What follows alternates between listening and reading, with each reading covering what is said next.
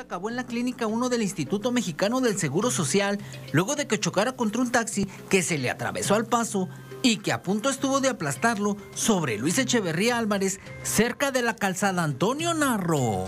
José Ángel Espinosa Ramírez, de 53 años, se desplazaba con aparente normalidad rumbo al poniente del periférico en una motocicleta cuando repentinamente un auto de alquiler Nissan que circulaba metros adelante de una vuelta prohibida.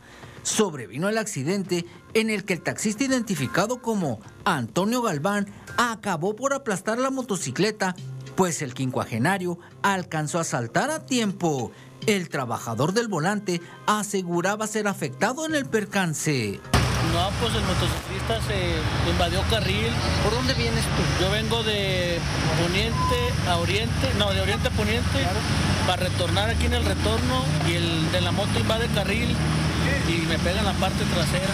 Pues de inmediato pagar el carro porque pues estaba tirando gasolina en la moto y a, pues a ver los primeros auxilios del motociclista, a ver cómo se encontraba. Por los cursos que tenemos nosotros, ¿verdad? De taxista como servicio público.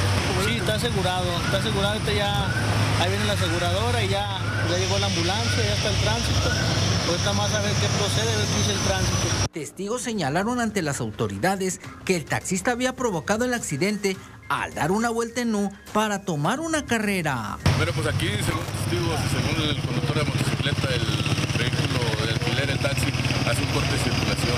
Pues aquí es lo que estamos observando. Y al parecer, según testigos, manifiesta que le hicieron la parada aquí en Calzanar y que dar la vuelta. Y le quita derecho. Y le quita derecho de paso al motociclista. Pues apenas pudo aplastarlo. Pues sí, ahí estamos viendo la motocicleta como quedó abajo del carro.